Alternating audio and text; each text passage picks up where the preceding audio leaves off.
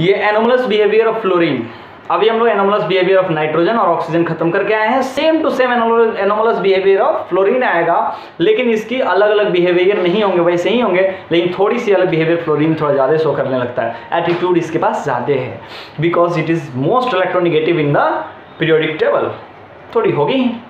अब इसमें पहले पॉइंट लिखेंगे। The anomalous behaviour of fluorine is due to पहले रीज़न लिखते हैं, क्यों होता है एनोमलस बिहेवियर तो ये चीज़ें मैंने बार बार बोली है कि किसी भी चीज़ का एनोमलस बिहेवियर चार रीजन से होता है, वही चार रीजन किसी के लिए भी लिख सकते हो।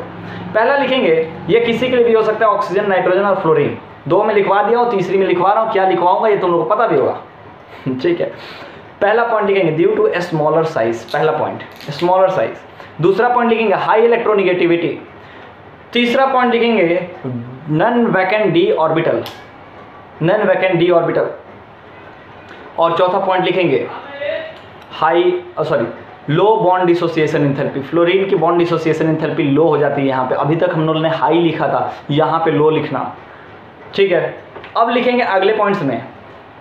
द एनोमलस बिहेवियर्स आर अब एनोमलस बिहेवियर क्या क्या है? तो सबसे इंपॉर्टेंट इंपॉर्टेंट पहले लिख रहे थे, बाद में फुद्दू सा लिख लेंगे कुछ कुछ देखना एनोमलस बिहेवियर्स कौन कौन है, वो देखते हैं, इसको थोड़ा हटा दो। पहला point fluorine source maximum कोवलेंसी up to one whereas other member source maximum कोवलेंसी up to seven due to presence of vacant D orbital D orbital vacant होने के कारण ये अप टू सेवन जाते हैं, जबकि फ्लोरीन वन तक ही जाता है। ठीक है, अगले पॉइंट्स में लिखेंगे। Fluorine shows only one, minus one oxidation state, minus one oxidation state. Only minus one oxidation state show करता है due to more electronegative nature in their periodic table clear है?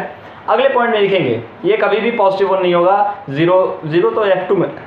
लेकिन negative one always oxidation state show करेगा due to its more electronegative nature जबकि oxygen का minus one minus two minus half plus one plus two भी show करता था। तो यहाँ पे फ्लोरीन की थोड़ी ज़्यादा ही पावर आ गई है। ठीक है, अगले पॉइंट में लिखेंगे H F is liquid whereas H C L H B R H I are gases due to formation of intermolecular hydrogen bonding in H F due to formation of intermolecular hydrogen bonding I think ये मैंने तुम लोगों को बताया था zigzag path में solid state कल के लेक्चर में।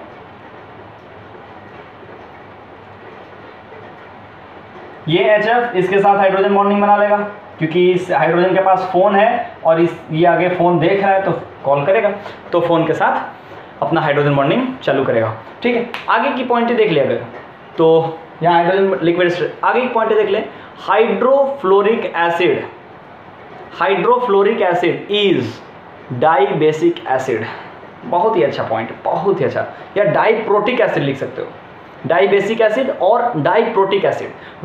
Whereas H C L H B R and H I are monoprotic acid मतलब मोनोप्रोटोन देते हैं। देखना, इसमें एच एफ़ जो है एच टू एफ़ टू भी एग्जिस्ट करता है। इट इज़ डाई बेसिक मतलब टूटने के बाद two H plus plus fluorine minus देगा। तो यहाँ पे दो H प्लस दे सकता है। हाइड्रोफ्लोरिक एसिड ही एक ऐसा एसिड है। H2F2 वो भी। HF की बातें नहीं कर रहा हूँ। H2F2 की बातें कर रहा हूँ। ये भी एग्जिस्ट करता है। जबकि H2Cl तो एग्जिस्ट नहीं करता है। यहाँ पे HCl HBr या HI की बातें कर लो। तो यहाँ तीनों से टूटने पे एक ही H प्लस मिलेगा। तो इसको बोलेंगे मोनो बेसिक इसको बोलेंगे डाई बेसिक एसिड ठीक है? तो यहाँ पे इनकी प्रोटोन देने की कैटेगरी भी चेंज है, ठीक है। अब आगे पॉइंट में थोड़ा सा लिखेंगे।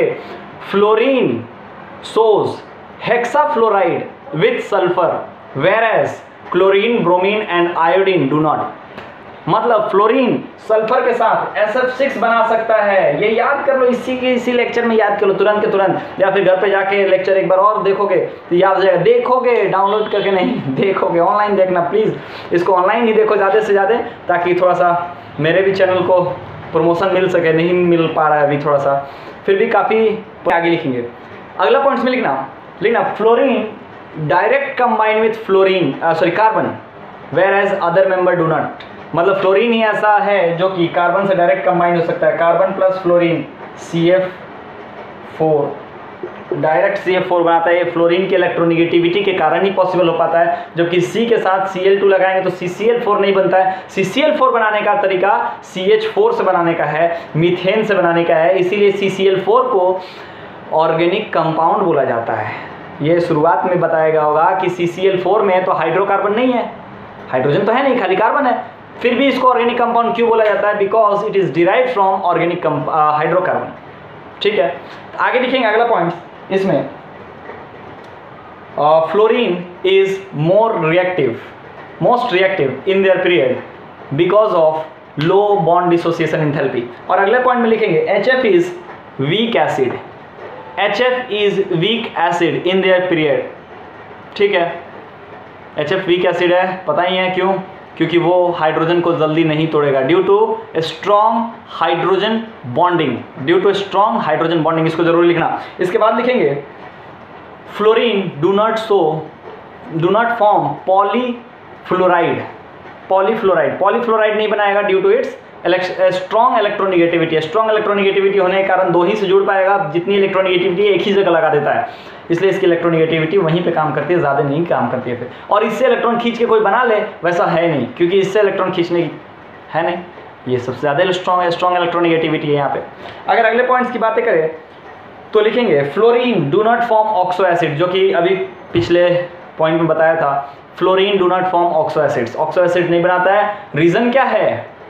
रीज़न क्या है? Because fluorine is more electronegative than oxygen सबके रीजंस भी एकोमुलेट करते चलो। जो नहीं मिले उसको गूगल करो। ठीक है? Because fluorine is more electronegative as compare to oxygen ठीक है? So hydrogen do not directly attach with oxygen it attach with hydrogen मतलब फ्लोरीन